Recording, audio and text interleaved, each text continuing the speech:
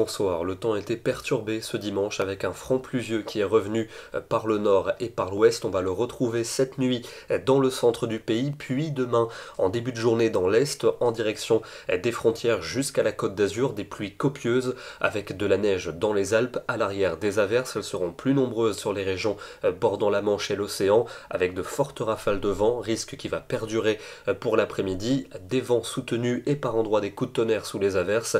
Ailleurs, elles seront plus dispersées, avec la perturbation qui va s'évacuer progressivement euh, par les frontières de l'Est, de la neige des 1600 à 1700 mètres pour les Alpes et le retour du soleil en Méditerranée, sauf en Corse où la pluie sera encore au programme. Les températures de ce lundi euh, de la Toussaint évolueront entre 7 et 16 degrés à l'aube. L'après-midi, en revanche, elle chute par rapport à celle du week-end.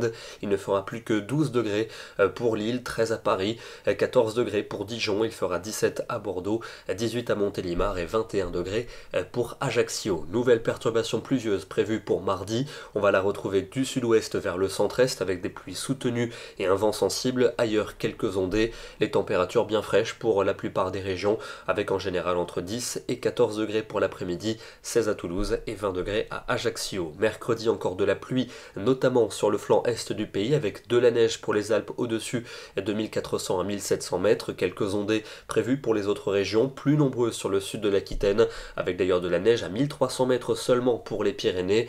La fraîcheur sera de plus en plus nette pour cette journée. Il ne fera que 9 degrés à Luxembourg, 10 degrés en Bourgogne, 11 à Lyon et 13 degrés à Toulouse. La suite avec jeudi et vendredi, encore quelques averses jeudi, notamment au nord-ouest, vers les Pyrénées et vers les frontières de l'Est avec de la neige à moyenne altitude, puisque les températures seront très fraîches. On va garder cette fraîcheur vendredi avec sans doute un temps plus calme, mais pas toujours ensoleillé. La grisaille devrait dominer entre le centre et le nord-est. Et puis pour le week-end prochain, a priori, ce sera un peu plus lumineux avec des températures froides le matin et fraîches l'après-midi. On s'en verra quand même des pluies qui pourraient remonter de Méditerranée.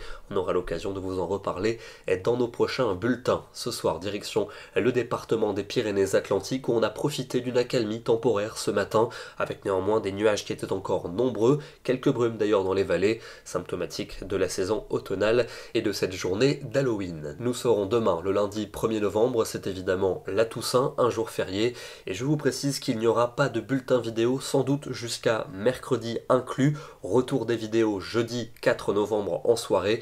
Euh, je passe quelques jours à l'étranger, ce sera sans doute compliqué pour moi euh, de vous réaliser les vidéos, mais pas d'inquiétude, sur le site, les prévisions resteront à jour, les cartes et les textes toujours au rendez-vous. Merci à tous, bonne soirée et à très vite.